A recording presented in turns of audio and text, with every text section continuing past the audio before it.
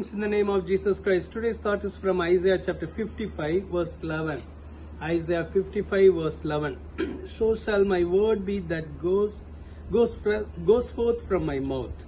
It shall not return to me void, but it shall accomplish what I please, and it shall prosper in the thing for which I sent it.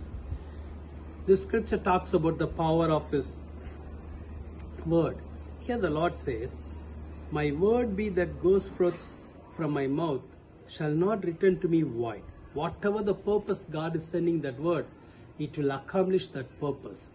It will fulfill the purpose of God. It will not go in void.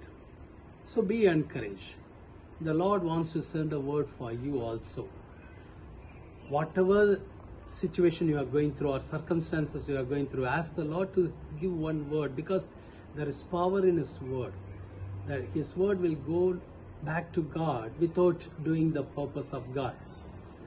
So in my life, many times I used to ask the Lord to give a word for every decision making and also for every ministry. If, I, if me and my wife traveling for some ministry purpose, before we go for the ministry, I used to ask for a word for that particular ministry.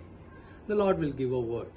After I received the word from the Lord, me and my wife used to claim that word throughout that ministry travel time and the ministry time.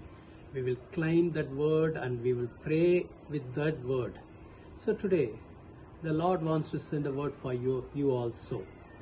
Any decision making, ask the Lord to give a word for you. So the Lord will give a word for you. The Lord will accomplish His purpose through His word.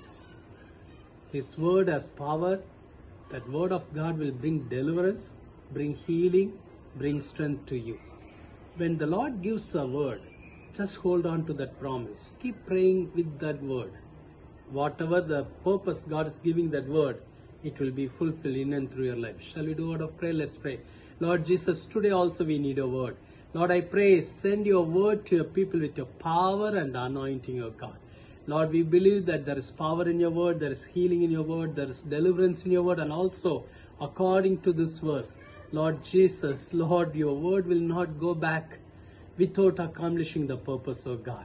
Lord Jesus, encourage your children, bless them, Lord, do wonders and miracles. Let this day be a day of miracle and blessing, Lord. Let them see your mighty hand. In Jesus' name we pray. Amen. God bless you. Have a wonderful day. Amen.